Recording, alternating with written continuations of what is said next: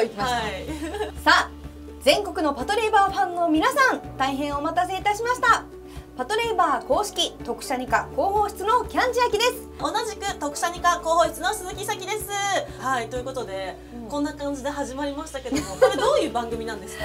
はいこの番組は機動警察パトレーバーザムービー 4DX 公開スペシャル。パトインフォこちら特殊二課広報室番外は編。いとい。うことで、、はい。よいよ公開されることとなりました。機動警察パトレーバーザムービー 4DX、うん。このね 4DX を盛り上げていこうということで始まりました。もうこの番組を見ている時点で、うん。パトレーバーを知らない方はいらっしゃらないかもしれないんですがあそうですね。もしかすると、うん。ここで初めてパトレーバーに触れてくれる方もいらっしゃるかもしれないので、ねあの、うん。ご新規さんね、あの映画のイベントの時いらっしゃいましたもんねいらっしゃいまし若たね。ねこう今まで全然知らなくて今日連れられて初めて見に来ましたっていうね。女性とかもいたので、うまだまだパトレーバーってこうファンが広がるこういう余地があるんじゃないかと思います。んいやもう完全にうん。ファン獲得していく気持ちでいくんで私は。そうだよね。新たなファン欲しいんで。本当にまだパトレーバー知らない人は、ぜひこれをきっかけに見ていただきたいはいのでちょっとパトレーバーの説明を簡単にしていきますね。お願いします。はい機動警察パトレーバーは1988年。生まれてないんじゃない？生まれてる？私が生まれた次の年ですね。赤ちゃん。はいそんなもう 30年以上前ですよ。31年前？あス。そうあそうだ、はい。そうですよね。はい私なんかはもうとっくに生まれてるんですけれども1988年に6話完結オリジナルビデオアニメーション、うん。これ OVA って言うんですけど当時は本当に OVA がすごいブームで、たくさんたくさんオリジナルビデオアニメーションができてた時代があって、ただあの私たちってその頃子供なのでやっぱ買えなかったじゃないですか。そう OVA はお金を出さないと買えないので。結構いいお値段しますからね。う。ん。例えばご両親がもともと好きとかで恵まれてる環境でもなければ、なかなか見る機会がなかったかもしれない。そうですねね、だからさきちゃんも実はテレビシリーズから入ってるんですもんね。あそうです。私テレビシリーズからですね。そうなんです。で OVA でスタートしてこの原作がクリエイターユニットヘッドギア。ヘッドギアのメンバーは5名います。まずは漫画家の結城正美さん。そしてメカデザイナーの伊豆淵豊さん。脚本家の伊藤和則さん。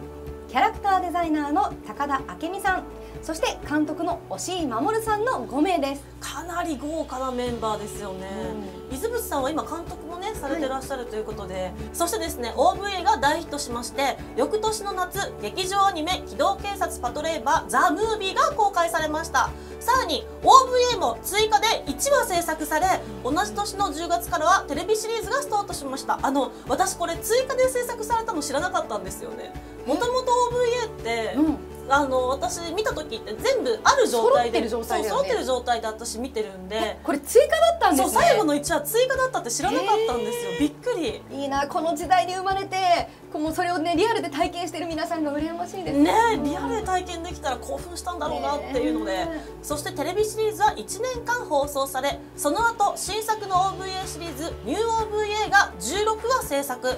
さらにですね1993年に劇場版の2作目なんと2002年に劇場版3作目が公開されましたということでちょっとね間を空けて、うん3作目もね公開されたっていうのがすごいねパトレーバーの人気をね物語っているかなと思います。すごいですね。すごいですよね、まさか2000年代にパトレーバーが映画化されると思ってなかった人がすごいたくさんいると思うんで。うんうんうん。パトレーバーってすごいですね。そう考えると30年間何かしら新作を生み出し続けているっていう。そうなんですよ。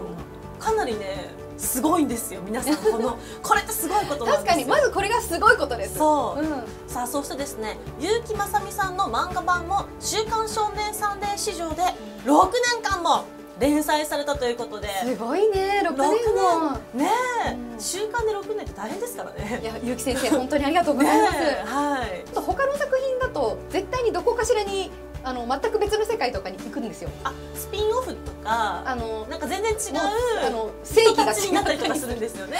あまあまああるあるですよそうねやっぱりその中でパトレーバーは常にブレないやっぱりおなじみのキャラクターだったりとかおなじみの設定がずっと残っているっていうのはすごいなと。今見てもねパトレーバーって古さはあんまり感じない。全く携帯電話がないとかなんかそういうぐらいでなんか設定自体は全然新しいんですよね。ね。それがすごいんですよ本当に。うん。そしてはい。私たち特殊二課広報室というものがですね機動警察パトレーバー誕生30周年突破を記念して結成されたばかりなんですよそうなんねですよね。昨年末。大体こう11月ぐらいに昨年の11月にパトレーバーの富永美奈さん、はい。安住の親役、はい。富永美奈さんのトークショーが池袋であったんですけどその時に私たちも登壇させていただいてお披露目されたんですよね、はい。あの時に見てくださった方って見てるのかな？見てくださってますよね。みんなでロックオンってやりましたね、はい。やりましたね。うん。はい、そんな私たち特殊二課広報室の活動は展覧会やグッズの情報発信などの広報活動を主にやっております、はい。2019年11月東京立川シネマシティの劇パト1のトークショーや12月の押井監督伊藤和則さんが参加されたユナイテッドシネマお台場でのトークショーの MC などもやらせていただきました。いや本当にあれは私たちにとっても非常に楽しい経験でそうですね。私は立川シネマシティの方の,、まあ、あの司会をやらせていただいたんですけどそうですね。見に行きました。はい、2日間で古川さんと、うん。そして音楽の河合さんが来てくださって、うん。どちらも本当にレアなトークショーでしたね、うん。皆さんね喜んでくださってましたよね観客の方すごい熱気でしたしねうん。楽しかったです。そしてさきちゃんは、はい。ホットレーバーのお台場のトークショーの方でそうなんですよ、ね登壇されてちょっと私その時見に行けなかったんですけど、うん。なんかこういろいろ大変だったらしいですね。いやーあの日はねいろいろ大変だったんですよ。本当に裏の話になっちゃうんであんまり言うのもあれですけどあの知ってる方はね皆さん知ってると思うんでねこの話はあまり深掘りしない方がいいのかもしれないんですが。そうですね。でもみんな全力を尽くした中で、そう。あの一番大きなことが、まあ、さきちゃんが自己紹介を忘れるっていうね。あそれ一番大きなことかなそう自己紹介をね忘れたんですよね。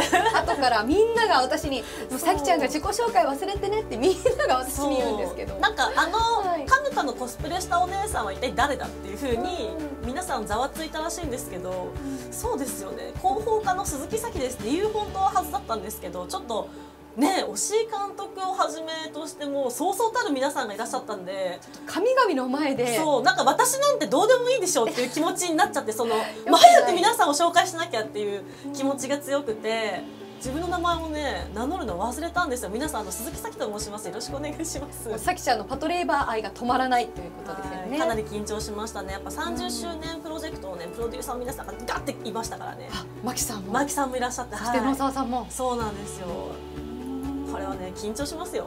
ですよね。はい。多分私もそのメンバーだったらちょっとあでも古川さんとかはあと河合さんとか前にお会いしたことがあってうん。あの顔見知りというか知ってくださってたのですごくやりやすかったし助けていただいたんですけどかなり緊張しちゃうと思います。かなり緊張しますよ。あの他の周りの大人たちがあの5人はなかなかだよ。みたいな感じで ずっと脅してくるんですよ。ひどい。ひどい大人の皆さんひどいわ。そう。みんながねあの5人は言いたいこと喋っちゃうからねあ止めてよみたいな。ニヤニヤしながら言ってくるのも聞いてたんでずっと。すごい緊張しちゃって。でもねすごい楽しいトークイベントで、はい。あの来てくださったね皆様もいらっしゃると思うんですけどかなり楽しんでいただけて嬉しかったです。ありがとうございます、はいありがとうございます。またそういうイベントもやっていきたいですね。そうですね、うん